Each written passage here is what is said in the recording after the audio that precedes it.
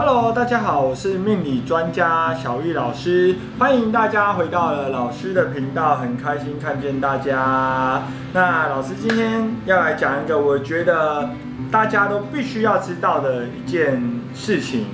就是泰国佛牌中的九尾狐仙，我们必须要知道的事情。为什么我要非常针对由泰国佛牌的九尾狐仙，而不是道教的九尾狐仙呢？因为它虽然说是一个有关联性的东西，但是它并不完全关联。接下来影片中，老师会来讲解为什么。因为这件事情大概是老师想了很久，而且非常多人会问过老师这件事情，但是我相信没有多少人能够得到像老师这样完整的答案。因此，所以我希望把这件事情告诉大家，跟大家去分享。大约是老师跑庙前大概八年前吧，那时候其实呃泰国佛牌这一块狐仙啊，那时候其实南传佛教，因为其实泰国本身是没有狐仙的，我相信这大家都知道，所以泰国的狐仙是由中国传过去。那时候非常少师傅去修这俗称的狐仙的法。应该是说这些所谓的阿赞啊、古巴龙普，他们本身并没有这个法源传承，因为他们根本没有狐仙法嘛。所以这时候我就觉得很好奇，说大概八年前我就觉得这些师傅，师傅啊，你们这些那，你们的狐仙法哪里来的呢？所以我就去一个一个去问，只要有做狐仙早期的师傅，我都有去问他。那哪些师傅说什么话，我们就不完全去说他。但是未来这些朋友们在请供有关狐仙牌这些有关道教神旨佛牌的时候，你们可以多一点点的了解，好不好？未来在你们佩戴佛牌中，相信我一定对你们有帮助。来，我有去问一位和尚高僧，我就问他说：“师傅啊，师傅，能不能请问一下你？”你今天你们这个师承中啊，你们这个九尾狐仙的法脉从哪里来的？因为据我所知，泰国本身并没有九尾狐仙的法脉。那请问一下，你怎么会做九尾狐仙牌呢？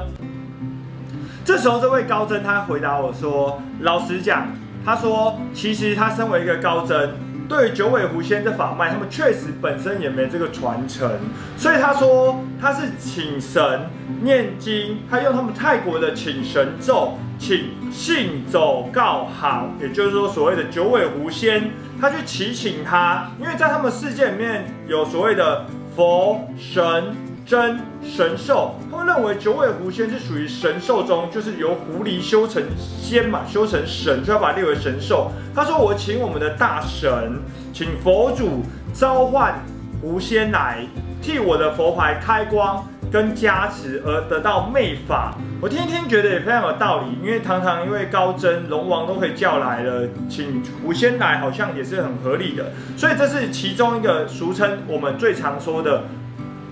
入法开光，基本上就是这样的原理，请这个狐仙来高僧，请他来开光加持。那我还有遇到过一些师傅，我就问他说：“师傅啊，那你的法脉来怎么来的呢？”有一些师傅是回答我说。其实真心话，他说，其实你会看很多狐仙牌后面有一些验通或一些人猿鸟东西。他说，其实他做的牌表象是狐仙，但事实上里面呢，他用的法术，他只是表象是，他的法术其实是人猿法，泰国的人猿法。以及所谓的萨利嘎，都是一些人员的法脉。他说，因为效果一样，反正大家只是喜欢外壳，所以你今天在买佛牌的时候要注意。你可能觉得它是九尾狐仙入法，但是它虽然说一样是入法，它入可能不是狐仙法，可是当地的人员法、验通或者是魅法，好不好？来，第三点是要最注意的，也就是最有争议性的说法。因为我问到过一些阿赞或者黑法师傅，我就问他说：“师傅啊，请问一下这个狐仙法你怎么修来的？”有一些师傅告诉我说啊，其实哈，这是我们俗称的抓鬼道的鬼，不要怀疑，就是女鬼。所以很多人的狐仙牌是阴牌，没有发现，因为他们当地传统会把一些三精鬼魅抓来。抓来之后，所以他们有些芭蕉精啊，或是一些女鬼，把它抓来之后，一样的模式入在这个佛牌里面，所以它里面并不是真正的狐仙，而是鬼牌。那他就说这些鬼可能有修俗成狐仙道，狐仙道的意思就是类似像有点像草头神，草头神意思就是类似像说，比如说，呃，我今天。走了，然后可能呃，玉皇大帝觉得我做人在世还算成功，可能封我做个神兵天象座，那我可能就有可能是土地公，或者有可能有些人去做三太子。那我不是真正三太子，而我是挂这个职位啊，就像警察一样啊。虽然说他就是叫警察，但每个警察都有他的职称，所以他有一个同学就轨道的无仙法，他把他抓去那边作为轨道。那还有一种就是我觉得最正统的，像我自己的师傅魅鲁士这一脉，他说他们自己本身也去道教去做交流，所以他们去学这所谓道教的狐仙法，所以他们咒语里面都有带有道教的东西。但回过头来啊，我就问师傅一件事情：以道教狐仙法，我们道教的观念是兵将观念嘛，对不对？那我就说，那请问一下师傅，这个九尾狐仙你录了这些神灵等等啊？因为据我所知，九尾狐仙是很高级的的。青丘之主嘛，我们就说妖界之主，他怎么可能进来呢？也就是说，大多数的九尾狐仙入的可能是两尾、三尾，也就是实习生的概念。只是他是狐狸，狐狸也会去修法，修的应该很有灵性。所以他们里面很多九尾狐仙的狐仙。其实讲真心话，他很少会是真正九尾狐仙，因为真正九尾狐仙并不会降临人间，好不好？所以他都是一个实习生，当然一样是带有魅法。所以各位亲爱的朋友，你们今天在接触这个所谓的佛海中九尾狐仙的时候，